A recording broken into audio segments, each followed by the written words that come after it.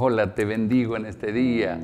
¿Sabes qué? Es importante cuando estás en un problema estar bajo bendición y no en maldición.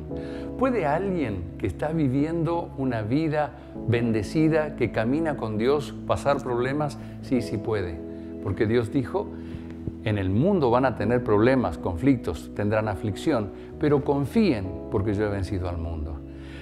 Que estés pasando un problema no significa que Dios está lejos, no significa que hiciste algo malo, no significa que, que, tengas que ser uno igual que el resto, sino que cuando uno vive bendecido porque está en contacto con el cielo, entonces uno puede estar en problemas, pero lo que sí es diferente es cómo vivís el problema.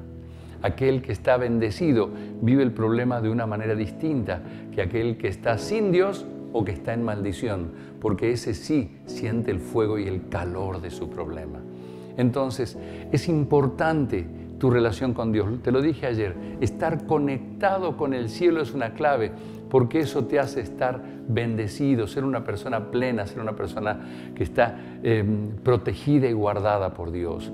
¿Sabes qué? Em, hay varios, eh, varios momentos de la Biblia en los que veo cómo Jesús sostenía la vida de aquellos que estaban atravesando una prueba. Cuando Jesús le dijo a Pedro, vas a pasar un tiempo de conflictos, va a venir un tiempo de pruebas para vos, pero yo he rogado que tu fe no falte. Es una clave sostenerse en fe, porque los que están bendecidos tienen que estar en fe. Hay el caso de los discípulos, por ejemplo, que iban en la barca, cuando estaban cruzando el mar de Galilea, tuvieron un momento muy fuerte porque la tormenta los hundía, pero Jesús, en vez de estar asustado con ellos, estaba durmiendo en la parte de atrás del bote, en la popa del bote, estaba durmiendo allí. Y el me dijo, así es la vida, estaban ellos en el mismo problema, pero uno tenía tanta paz que las olas del mar eran como, una, como amacarlo para que duerma mejor y sus discípulos estaban espantados. Y el Señor los corrigió y les dijo, dense cuenta que ustedes son gente bendecida. Estoy parafraseando lo que Jesús le dijo cuando dijo, ¿por qué dudaron hombres de poca fe? Le estaba diciendo, si ustedes son bendecidos, tienen que vivir estas tormentas con una paz especial, porque Dios siempre tiene una salida para la gente bendecida. Entonces, no te decaigas. Hay un pasaje que está en Isaías 43 que dice, no tengas miedo, no temas, porque yo te redimí, mío eres tú. Cuando pases por las aguas, yo estaré contigo. Y si por los ríos, o sea, aguas turbulentas, no te anegarán, no te inundarán. Cuando pases por el fuego, no te quemarás, ni la llama arderá en ti. Esa es la promesa de Dios para vos si estás caminando con Cristo. Entonces, número uno, ¿cómo, ¿cómo, vas a hacer para caminar con Dios? Número uno, acércate a Dios. Si sos cristiano, mantenete fuerte y firme en tu fe.